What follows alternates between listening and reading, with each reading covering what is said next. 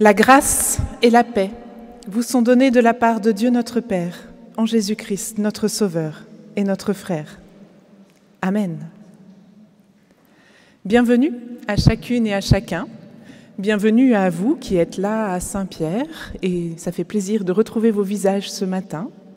Bienvenue à vous qui nous suivez en direct ou en différé sur YouTube et qui nous rappelez dimanche après dimanche que notre communauté dépasse les murs de notre belle cathédrale. Et une bienvenue toute particulière aujourd'hui aux jeunes du groupe de catécycles qui ont réussi à nous rejoindre ce matin. On a une sportive qui a un match important de hand et puis un blessé, dont je ne crois pas l'avoir vu. Donc, bienvenue à César, Chiara, Tristan, Mathis. Qui j'oublie Pour l'instant, c'est tout.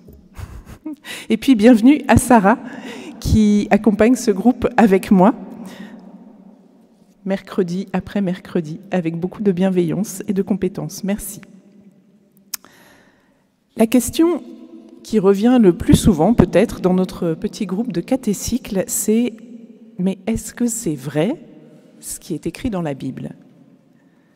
Alors, pour chercher comment répondre à ça, nous avons choisi de travailler un des textes les plus incroyables, au sens tout à fait littéral du terme, qu'on ne peut pas croire la résurrection d'un mort, Lazare, qui se trouve dans l'évangile de Jean.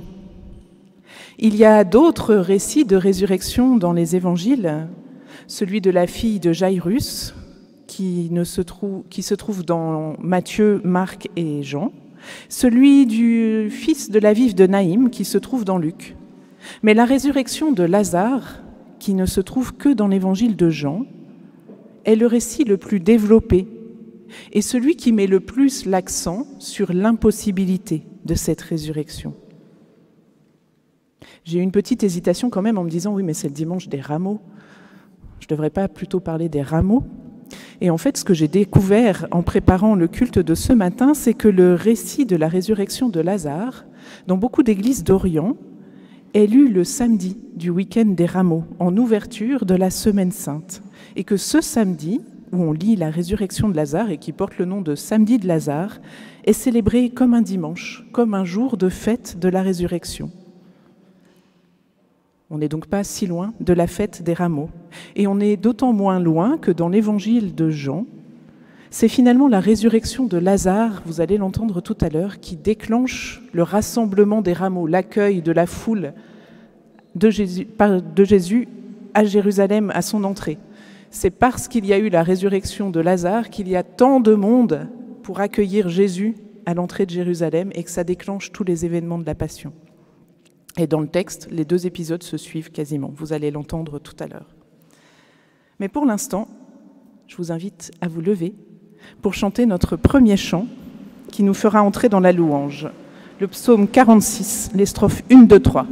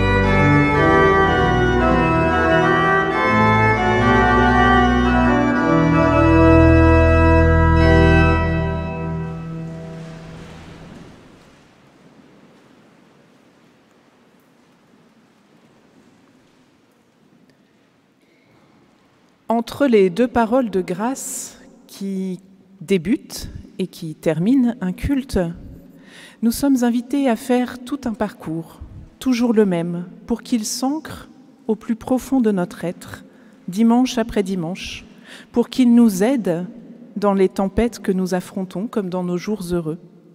Et ce parcours commence toujours par la louange, qu'on pourrait aussi appeler gratitude.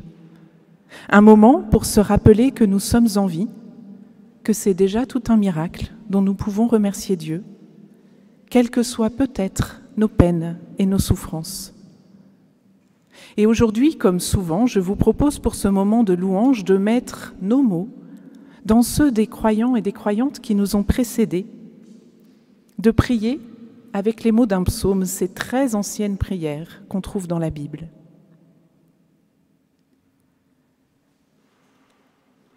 De David.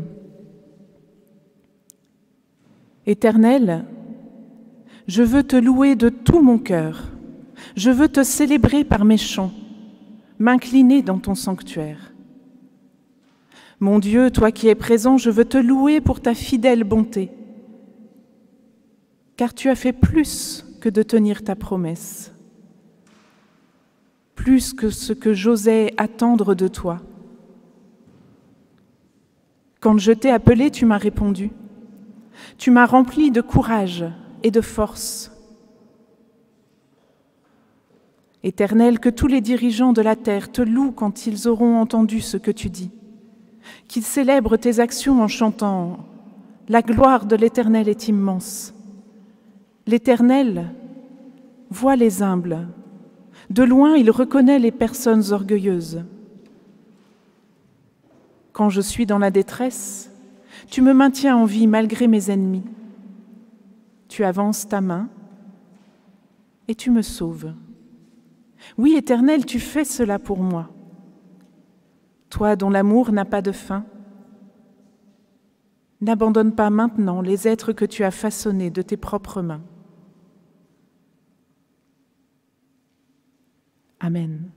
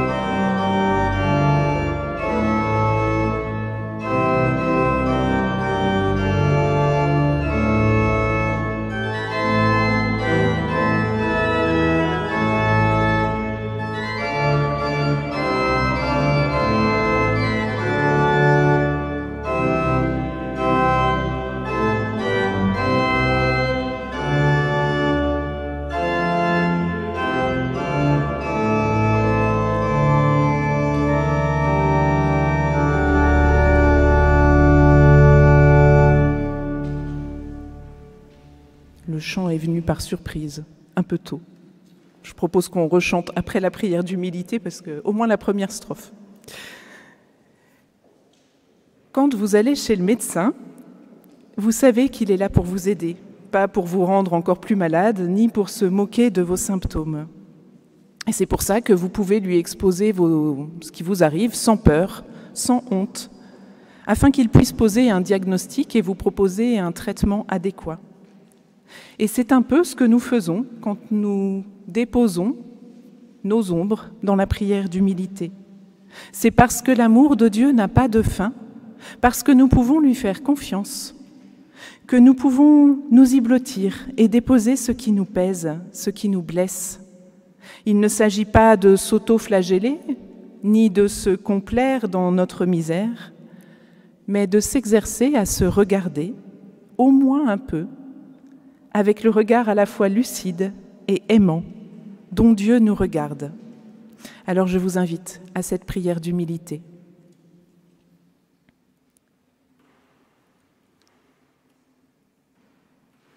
Éternel, devant toi nous pouvons poser le masque,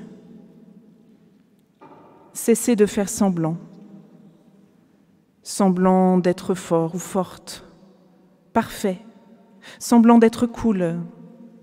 Nous sommes vulnérables, oui, émus parfois jusqu'aux larmes par un geste tout simple ou par la beauté d'un coucher de soleil. Devant toi, nous pouvons cesser d'essayer de répondre aux attentes des autres. Non, nous ne savons pas tout. Non, nous n'avons pas toujours ni le mot ni le geste qui aide vraiment.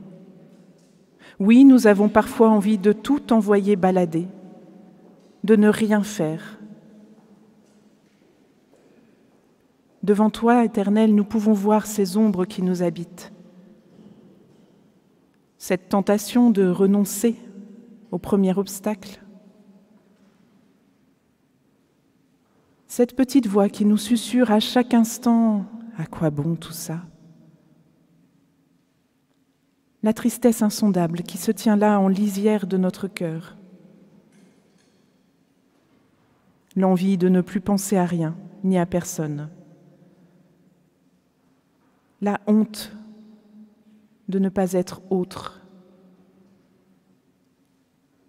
Oui, tout cela, éternel, nous te le remettons, pour que tu puisses y mettre ta lumière et ton amour. Amen. Et je vous propose de nous lever pour rechanter le numéro 35.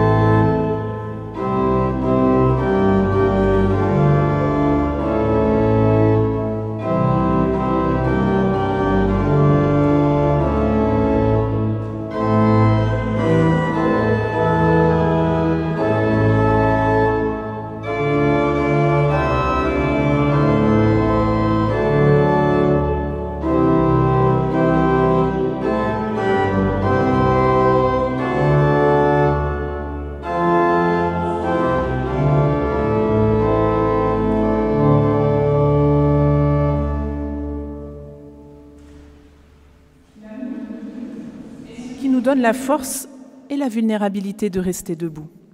Alors voici la parole qu'en Christ l'Éternel vous adresse à chacune, à chacun. Tu es mon enfant bien-aimé. En toi j'ai mis toute ma joie. Tu comptes pour moi. Si tout devait s'effondrer, si le monde devait s'arrêter, mon amour pour toi ne faiblira pas, car je t'aime d'un amour éternel. Amen. Et nous allons chanter un chant peut-être moins connu, mais un chant des rameaux, le numéro 300, les trois strophes.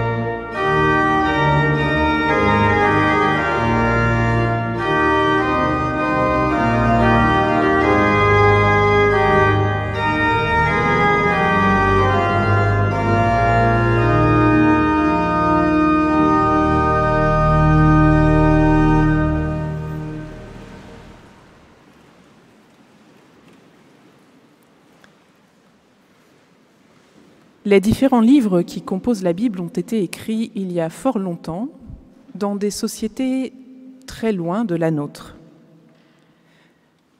Alors au premier abord, ils sont souvent difficiles à entendre, à comprendre, il est difficile d'entrer dedans.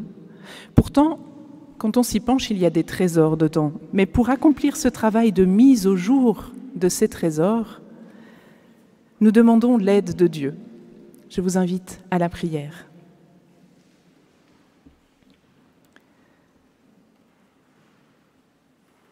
Éternel, si tu n'ouvres pas nos intelligences, il n'y aura là que des mots qui nous parlent d'un temps passé, difficilement compréhensible. Si tu n'ouvres pas nos cœurs, il n'y aura là qu'une explication qui ne me concerne qu'en tant qu'elle me renseigne sur les mentalités d'un petit peuple sur un tout petit coin de cette terre il y a 2000 ans. Mais nous voudrions trouver ce matin plus que cela dans ce que nous allons lire. Nous y cherchons une parole de toi, une parole qui nous rencontre dans nos vies d'hommes et de femmes du XXIe siècle. Aide-nous à la trouver. Envoie sur nous ton esprit pour que nous l'entendions. Amen. Nous allons maintenant entendre les textes bibliques qui étaient trop longs pour être dans votre feuillet. Il donc falloir vous concentrer, vous ne pourrez pas lire en même temps que vous écoutez. Et c'est d'abord Mathis qui va nous lire le début du récit de la résurrection de Lazare. Je prendrai la suite. Il y aura une pause musicale et puis nous entendrons ce qui suit immédiatement cette résurrection sera une surprise et c'est César qui nous lira ça. Mathis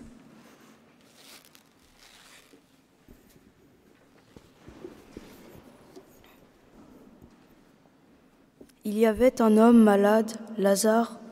Il était de Béthanie, le village de Marie et de sa sœur Marthe. Marie était celle qui répandit du parfum sur les pieds du Seigneur et qui les essuya avec ses cheveux. Et c'était son frère Lazare qui était malade.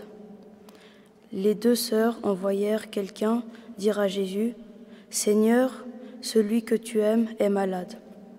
Lorsque Jésus apprit cette nouvelle, il dit, La maladie de Lazare ne conduit pas à la mort.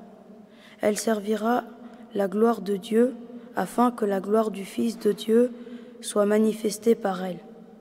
Jésus aimait Marthe et sa sœur, ainsi que Lazare.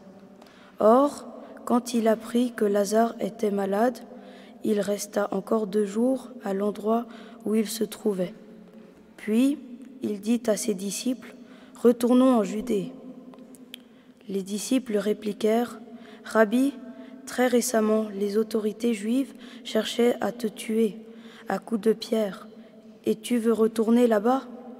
Jésus leur dit, Il y a douze heures dans le jour, n'est-ce pas? Si quelqu'un marche pendant le jour, il ne trébuche pas, parce qu'il voit la lumière de ce monde. Mais si quelqu'un marche pendant la nuit, il trébuche, parce que la lumière n'est pas en lui. Après avoir dit cela, Jésus ajouta, Notre ami Lazare s'est endormi, mais je vais le réveiller. Les disciples répondirent, Seigneur, s'il a été endormi, il sera sauvé. En fait, Jésus avait parlé de la mort de Lazare, mais les disciples pensaient qu'il parlait du sommeil ordinaire. Jésus leur dit alors clairement, Lazare est mort. Je me réjouis pour vous de n'avoir pas été là-bas, parce qu'ainsi vous croirez. Allons auprès de lui. Thomas, celui qu'on appelle le jumeau, dit aux autres, Allons-y, nous aussi, pour mourir avec notre Maître. Quand Jésus arriva, il apprit que Lazare était dans la tombe depuis quatre jours déjà. Béthanie est proche de Jérusalem, à environ trois kilomètres, et beaucoup de Juifs et, beaucoup du Juif Béthanie euh, était venue chez Marthe et Marie pour les consoler de la mort de leur frère. Quand Marthe apprit que Jésus arrivait, elle partit à sa rencontre, mais Marie resta assise à la maison. Marthe dit à Jésus, Seigneur, si tu avais été là, mon frère ne serait pas mort. Je sais que maintenant encore, tout ce que tu demanderas à Dieu, Dieu te le donnera. Jésus déclara, Ton frère ressuscitera. Marthe répondit, Je sais qu'il ressuscitera lors de la résurrection au dernier jour. Jésus ajouta, Moi, je suis la résurrection et la vie. Celui qui croit en moi vivra, même s'il meurt. Et celui qui vit et croit en moi ne mourra jamais. Crois-tu cela? Oui, Seigneur, déclara-t-elle, je crois que tu es le Christ, le Fils de Dieu, celui qui vient dans le monde. Après avoir dit cela, Marthe s'en alla appeler sa sœur Marie et lui dit en privé, Le Maître est là, il te demande. À ces mots, Marie se leva immédiatement et alla au-devant de Jésus. Or, Jésus n'était pas encore allé au village, mais il se trouvait toujours à l'endroit où Marthe l'avait rencontré. Quand les Juifs qui étaient dans la maison avec Marie pour la consoler la virent se lever en hâte et sortir, ils la suivirent. Ils pensaient qu'elle allait au tombeau pour y pleurer. Marie arriva là où se trouvait Jésus. Dès qu'elle le vit, elle se jeta à ses pieds pour lui dire Seigneur, si tu avais été là, mon frère ne serait pas mort. Quand Jésus la vit pleurer, elle et les Juifs qui étaient venus avec elle, il fut profondément ému et troublé. Il leur demanda, Où l'avez-vous mis? Ils répondirent, Seigneur, viens et vois. Jésus pleura. Les Juifs dirent alors, Voyez comme il l'aimait. Et quelques-uns d'entre eux disaient aussi, Lui qui a ouvert les yeux de l'aveugle, ne pouvait-il pas aussi empêcher Lazare de mourir? Alors Jésus, frémissant de nouveau, se rend au tombeau. C'était une grotte dont l'entrée était fermée par une grosse pierre. Enlevez la pierre, dit Jésus. Marthe, la sœur du mort, répliqua Seigneur, il doit sentir mauvais. Il y a déjà quatre jours qu'il est ici.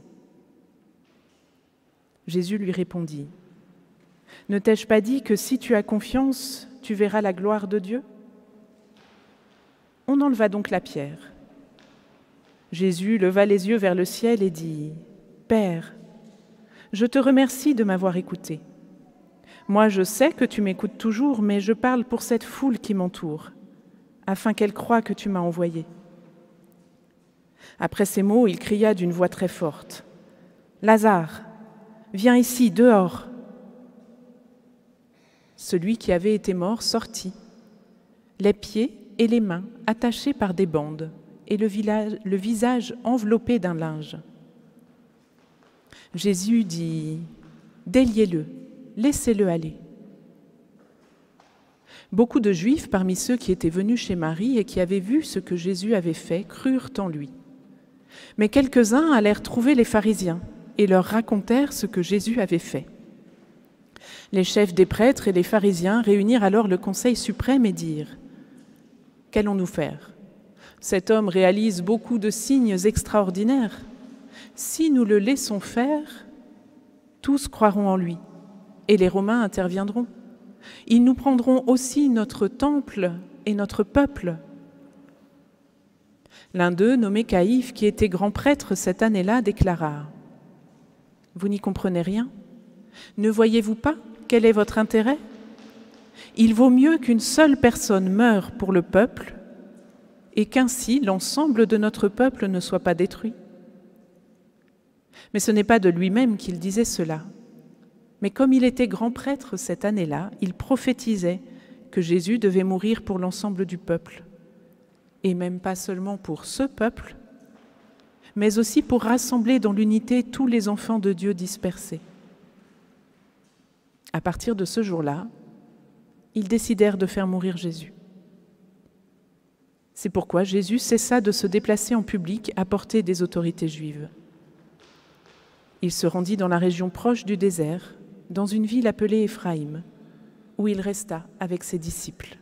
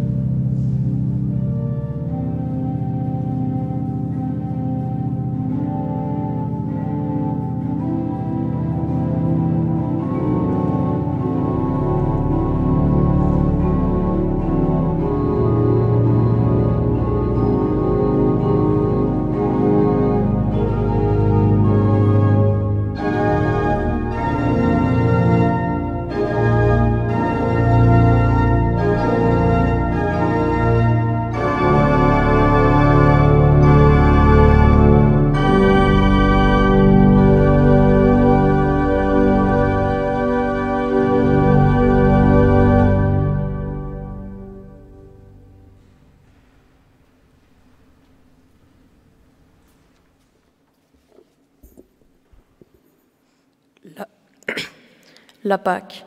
La fête juive était proche et beaucoup de gens du pays montèrent à Jérusalem avant la Pâque pour se purifier.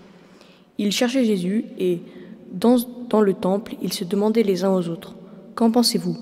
Il ne viendrait pas à la fête, n'est-ce pas? Les grands prêtres et les pharisiens avaient ordonné que si quelqu'un savait où était Jésus, il devait les avertir afin qu'on l'arrête. Six jours avant la Pâque, Jésus se rendit à Béthanie, où vivait Lazare, qu'il avait réveillé d'entre les morts. Là, on lui offrit un repas, servi par Marthe. Lazare était un de ceux qui se trouvaient à table avec Jésus. Marie prit alors un demi-litre d'un parfum très cher, fait de nard pur, et le répandit sur les pieds de Jésus. Puis, elle les essuya avec ses cheveux. Toute la maison fut remplie, fut remplie de l'odeur du parfum. L'un des disciples de Jésus, Judas d'Iscariote, celui qui allait le livrer demanda Pourquoi n'a-t-on pas vendu ce parfum 300 pièces d'argent pour les donner aux pauvres? Il disait cela non parce qu'il se souciait des pauvres, mais parce qu'il était voleur. Il tenait la bourse et prenait ce qu'on y mettait. Jésus lui répondit Laisse-la tranquille, elle fait cela en vue du jour où l'on me mettra dans la tombe. Vous aurez toujours des pauvres avec vous, mais moi, vous ne m'aurez pas toujours. Une foule de nombreuses de Juifs apprit que Jésus était à Béthanie.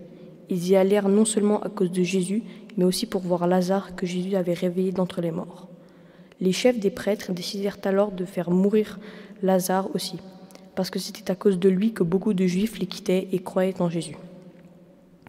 Le lendemain, la foule considérable qui était venue pour la fête de la Pâque apprit que Jésus arrivait à Jérusalem. Tous et toutes prirent des branches de palmiers et sortirent de la ville pour aller à sa rencontre. Ils criaient Hosanna, que Dieu bénisse celui qui vient au nom de Dieu, le roi d'Israël. Jésus trouva un anon et s'assit dessus, comme l'annonce l'Écriture. N'aie pas peur, ville de Sion. Regarde ton roi, vient assis sur le petit d'une ânesse. Ses disciples ne comprirent pas tout de suite ces faits, mais lorsque Jésus fut élevé en gloire, ils se rappelèrent que l'Écriture avait annoncé cela à son sujet et qu'on avait accompli pour lui ce qu'elle disait.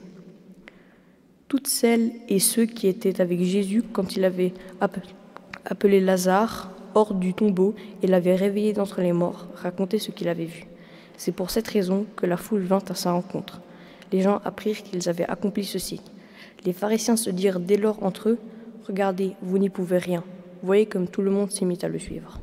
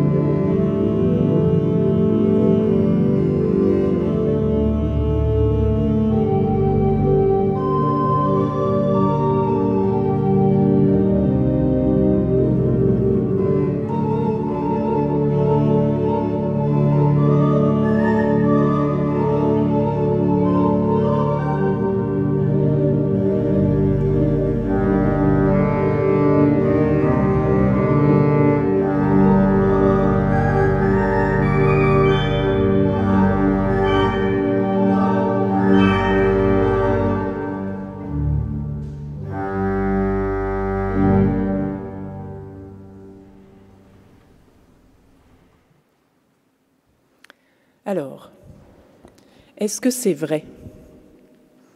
Est-ce que Jésus a vraiment ramené Lazare de la mort alors que son corps était déjà entré en décomposition, comme nous le dit avec insistance le récit? Au risque de vous décevoir, je n'ai pas de réponse simple à cette question. Je ne vais pas vous répondre ni par oui ni par non. Mais ce n'est pas parce qu'il n'y a pas de réponse simple qu'il n'y a pas de réponse du tout, et encore moins qu'il ne faut pas chercher des pistes en direction de ces réponses. Alors on va chercher. Un morceau de la réponse se trouve dans le statut des évangiles, et plus largement dans le statut des écritures, des textes bibliques. Comprendre ce que sont ces textes nous aide à réfléchir au type de vérité qu'on peut y trouver. Alors commençons par deux choses que ne sont pas ces textes. D'abord, ce n'est pas une prise de notes sous la dictée de Dieu. Ce sont des textes écrits par des humains pour témoigner d'une expérience personnelle ou communautaire de relation avec Dieu. C'est ainsi que chaque texte biblique est coloré par son auteur, l'époque à laquelle il a écrit, ses préoccupations, son expérience. La vérité qu'on y trouve n'est pas une vérité divine à recevoir sans filtre, non discutable et ne demandant aucune interprétation de notre part. Ainsi, il est faux de dire en raccourci que la Bible est parole de Dieu. C'est de la rencontre entre les textes bibliques et notre être personnel et communautaire, dans toutes ses dimensions, que peut jaillir une parole de Dieu pour nous aujourd'hui. Ensuite, ces textes bibliques ne sont pas non plus une prise de notes en direct par un journaliste qui mettrait par écrit tout ce qui se passe au fur et à mesure, et puis qui nous aurait laissé ça en témoignage. Les textes bibliques ont été écrits après les événements qu'ils mettent en scène, et pour la plupart, ils ont été retouchés pour parvenir à la forme que nous leur connaissons aujourd'hui. Alors la vérité qu'on trouve dans les textes bibliques n'est pas une vérité factuelle, si jamais il pouvait y en avoir une. Je ne suis pas non plus en train de vous dire que la Bible parle d'une vérité alternative à la Donald Trump, attention. Je dis seulement, et j'en arrive à ce que sont les textes bibliques, que chaque livre de la Bible répond à un projet à la fois théologique et littéraire. Il s'agit toujours de donner une interprétation théologique de l'histoire et de la condition humaine à travers une mise en écriture. On oublie souvent que les auteurs bibliques sont des écrivains. Ils réfléchissent à la manière de dire le mieux possible ce, dont ils sont en train de témoigner et leur projet littéraire est au service de ce projet théologique. Si vous lisez une fois les quatre évangiles les uns après les autres, vous sentirez très bien que l'écriture de Marc n'est pas celle de Luc, ni celle de Jean, et qu'aucune de ces trois-là ne ressemble à celle de Matthieu. Votre sensibilité sera probablement plus touchée par l'une ou l'autre de ces écritures. Et leur projet théologique est un peu différent aussi. Le Jésus de Marc n'est pas celui de Luc et celui de Jean n'est pas celui de Matthieu. Alors bien sûr, il y a des recouvrements, on parle toujours du même Jésus. Mais chacun en perçoit quelque chose d'un peu différent, mais en avant un peu autre chose pour un public qui n'est pas exactement le même. Et là encore, ce n'est pas que Matthieu a plus raison que Jean, ou l'inverse, c'est que Jésus échappe à toute réduction simpliste et il n'y a pas trop de ces quatre points de vue pour mieux comprendre qui il est. Avec leurs différences, les évangiles ont quand même un point commun, un point de départ, la mort et la résurrection de Jésus, et le besoin d'en déployer le sens.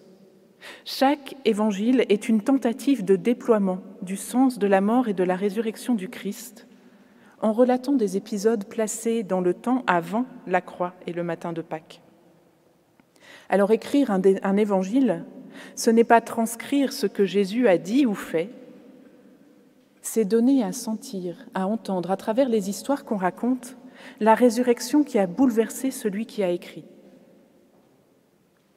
La vérité qui peut se dégager de ces récits est donc une vérité qui se rapproche plus de la vérité qu'on peut trouver dans une poésie que de la vérité qu'on peut trouver dans un article de journal, avec toutes les pincettes, là encore.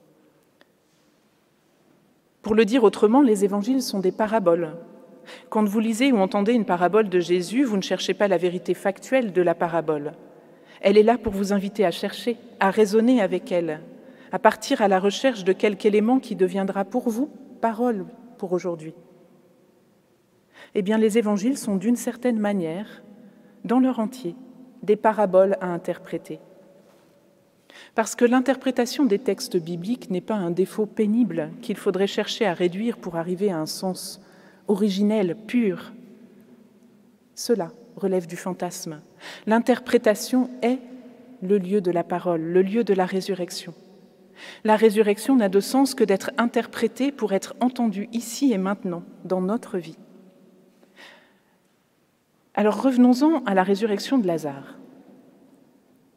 Si la question est-ce que c'est vrai veut dire est-ce que factuellement, scientifiquement, on a la preuve que Lazare était cliniquement mort, son corps étant entré en décomposition et que Jésus l'a ramené à la vie, alors la réponse est probablement non. Nous avons trop peu de sources fiables pour affirmer une telle chose, ne serait-ce que parce que Lazare n'est mentionné que dans l'évangile de Jean. Et si l'auteur de l'évangile de Jean se plaît à nous donner des détails sur l'odeur que dégage le corps, un enquêteur scientifique ne considère pas cela comme une preuve suffisante. Et vous savez quoi? C'est pas grave. Parce que nous l'avons dit, la vérité de ce récit biblique n'est pas dans son exactitude historique, mais c'est une autre question qu'il faut poser à ce texte. Quand je lui demande est-ce que c'est vrai, il faut que je lui demande en quoi me dis-tu quelque chose de la signification que peuvent avoir dans ma vie la mort et la résurrection du Christ? C'est là que se trouve la vérité du récit. Pour aujourd'hui, je vous propose quatre pistes pour élaborer votre interprétation de ce récit. Quatre, ce n'est pas beaucoup, on pourrait en dire une multitude d'autres, mais juste quatre pour ce matin. Première piste, tous les indices ostensiblement matériels du récit, à commencer par l'odeur du corps pourrissant qui a particulièrement frappé le groupe du catécycle, nous invitent à rechercher une interprétation qui n'oublie pas la matérialité de notre vie. Dans l'évangile de Jean, ces mentions de la matérialité du corps viennent précisément aux moments les plus incroyables. Ceux où on peut être tenté de passer outre, de secouer la tête en disant non mais ça veut rien dire, ou bien au contraire de spiritualiser un peu trop vite. Alors bien sûr qu'il y a une dimension spirituelle à la résurrection, et bien sûr que le récit parle de cela. Mais encore faut-il comprendre ce qu'on veut dire par spirituel. Si on dit parfois de l'évangile de Jean qu'il est le plus spirituel ou qu'il est celui dans lequel Jésus est le plus divin, c'est aussi paradoxalement celui qui souligne peut-être le plus les détails matériels, comme pour signaler justement que le spirituel dont il s'agit n'est pas désincarné et ne gomme pas notre réalité matérielle. Ces mentions extrêmement précises sur la matérialité corporelle viennent nous rappeler que ces récits s'adressent à toutes les dimensions de notre humanité. La mort est constitutive de l'être humain et la vie promise par Jésus, la résurrection qu'il nous offre, ne gomme ni les souffrances ni la mort. Lazare est mort, il sent déjà. On pleure abondamment dans la maison de Marthe et de Marie. Jésus n'empêche ni n'efface cela. Par contre, de ce chaos mortel, il fait surgir une vie nouvelle, une voie nouvelle. Deuxième piste, Lazare ressuscité est invité à devenir réellement sujet de sa vie.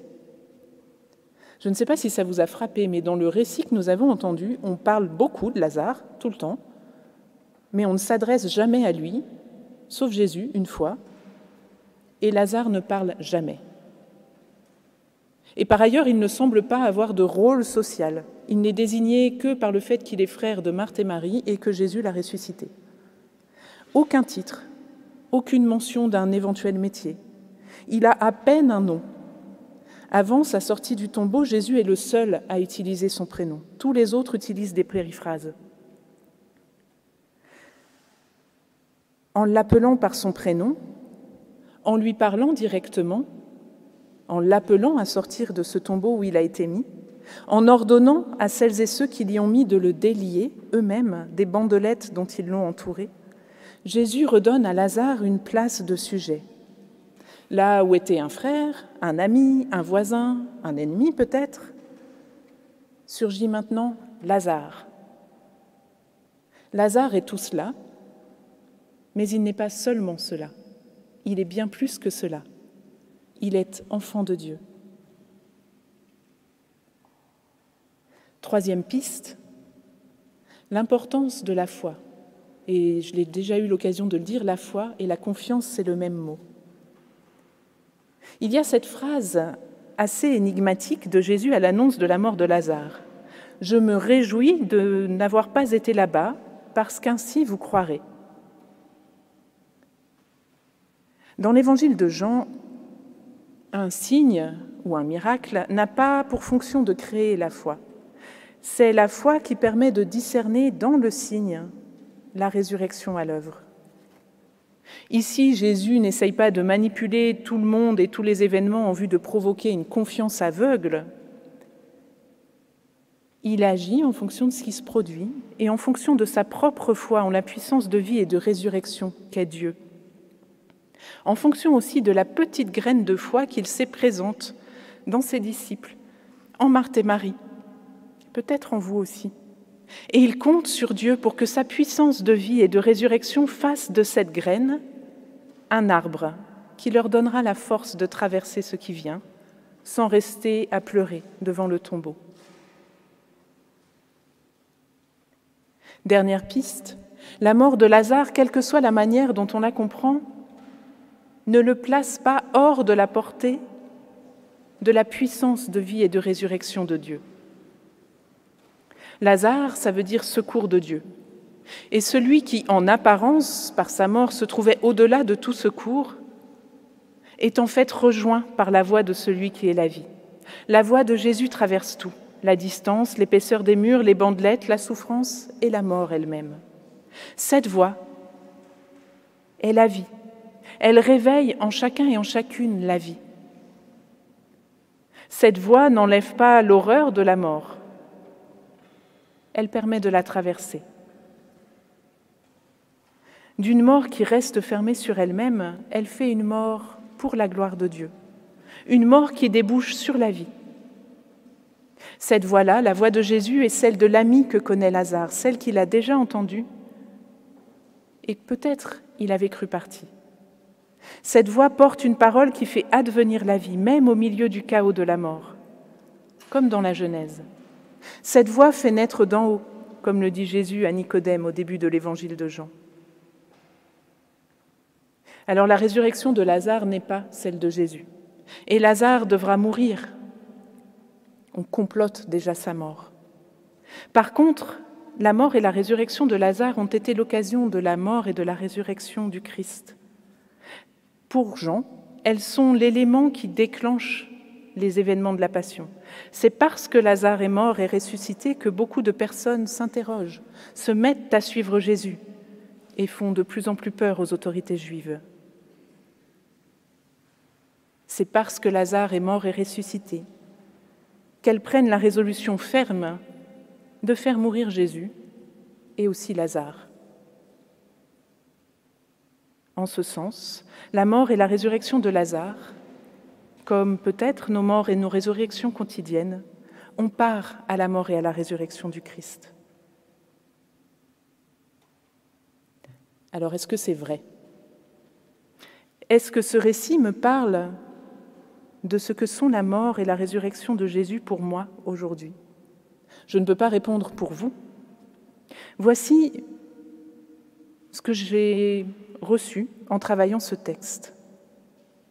Lazare, avant sa mort ou par sa mort, semblait englué dans un tissu de relations devenu étouffant à force de le définir, de le réduire à cette définition.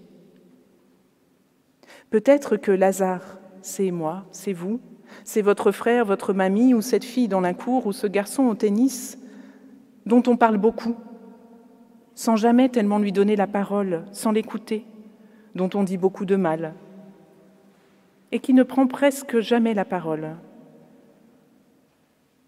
Peut-être que la mort de Lazare, c'est toutes les fois où nous collons une étiquette à quelqu'un, une étiquette qui le pousse vers la mort, au moins intérieurement, et parfois tout à fait concrètement.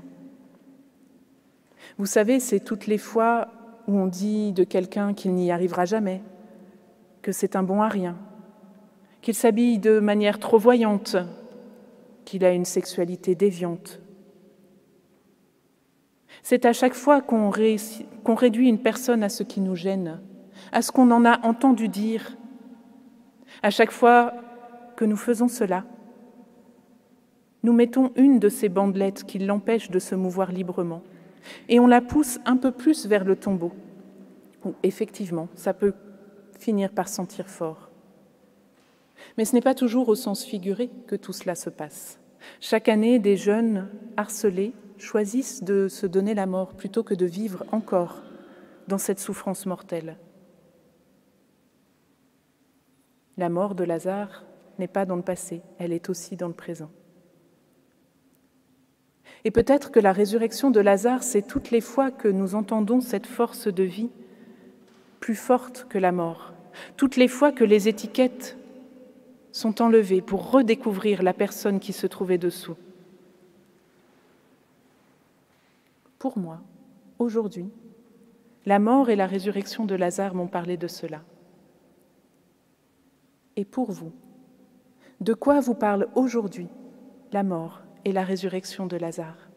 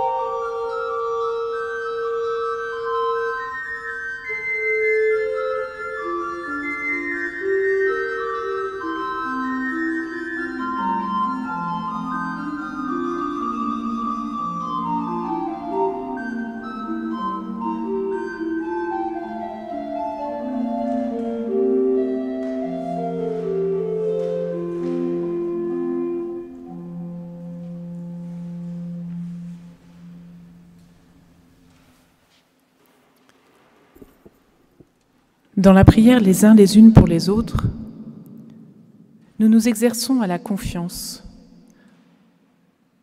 Nous ouvrons en nous l'espace pour que Dieu puisse nous inspirer des manières d'être qui manifestent un peu son amour pour ce monde et pour celles et ceux qui l'habitent. Je vous invite à la prière.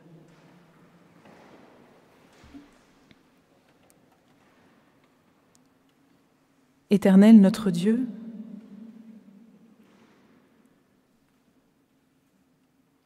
nous voulons te remercier. Te remercier pour les enfants et les jeunes qui habitent ce monde avec nous, pour leurs élans, leur colère, leur confiance. Permets que nous soyons à la place qui est la nôtre, des soutiens pour leurs projets, des tuteurs sur lesquels ils puissent s'appuyer quand ils en ont besoin, des pistes d'envol pour qu'ils puissent déployer ce qu'ils ont envie. Nous voulons te prier pour celles et ceux qui les accompagnent, les parents, les enseignants, les entraîneurs, les soignants. Donne-leur l'élan, l'envie et le courage de les suivre sur leur chemin parfois surprenant.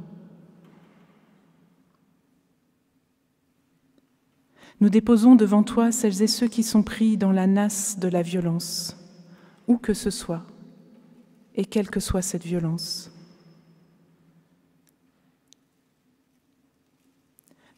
Donne-nous d'être, quand nous le pouvons, une lumière sur leur chemin, une main tendue pour les aider à s'en relever. Nous voulons penser devant toi à celles et ceux qui se noient dans la maladie, qu'elle touche leur corps ou leur esprit. Entoure-les de ta tendresse et de ton espérance. Ouvre nos cœurs pour que nous entendions ce qu'ils veulent nous partager.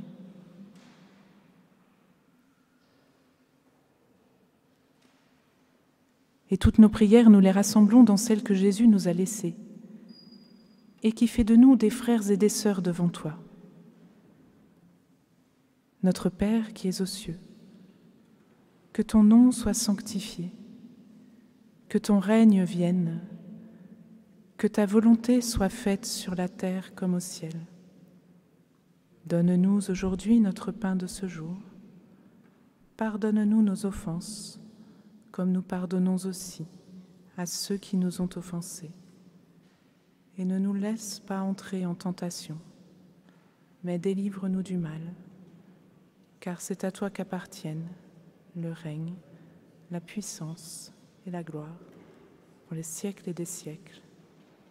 Amen. Nous arrivons à la fin de ce culte. C'est le moment des annonces.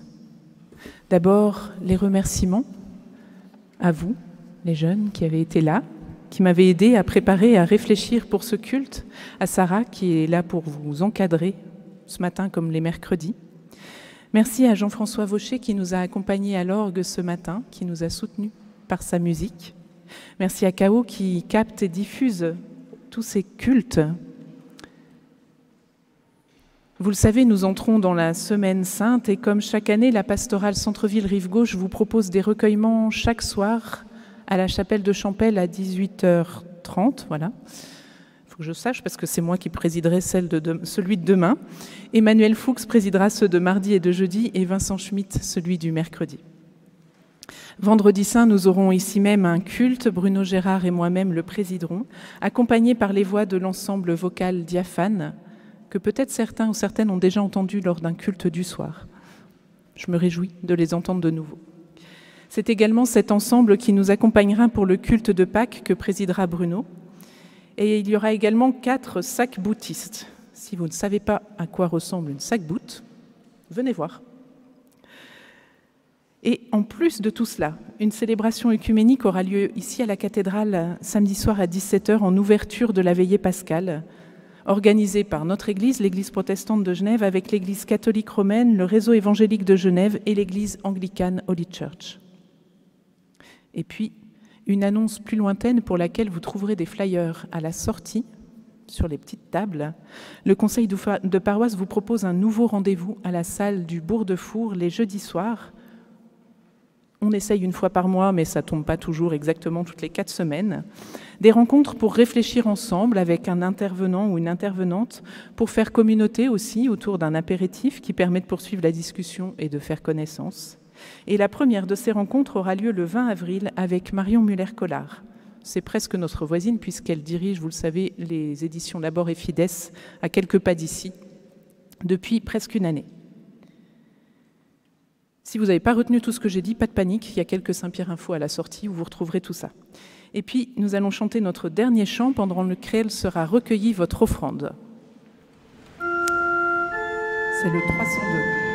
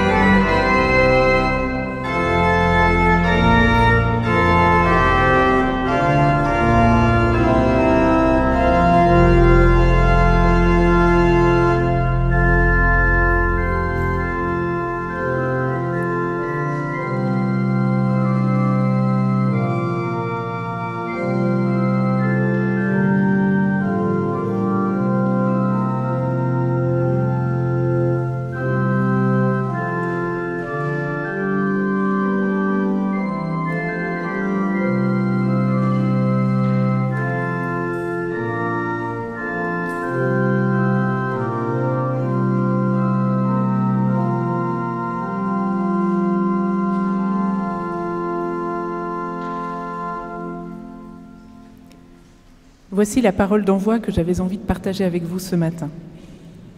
Ce que le chant s'accorde de silence, de notes blanches, de pauses et de soupirs, pourquoi ne te l'accorderais-tu pas?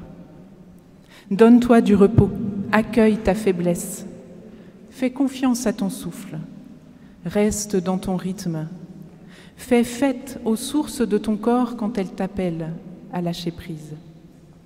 Sois léger, sois légère, ouvre les ailes de ta partition et laisse jouer la lumière de l'Esprit Saint à travers tes failles. Pour que cela soit possible, recevez chacun, chacune la bénédiction que Dieu vous adresse personnellement. L'Éternel te bénit et te garde. L'Éternel fait rayonner sur toi son visage. Il t'accorde sa paix. Il lève vers toi son visage il te fait grâce. Va dans sa paix et dans sa grâce. Amen.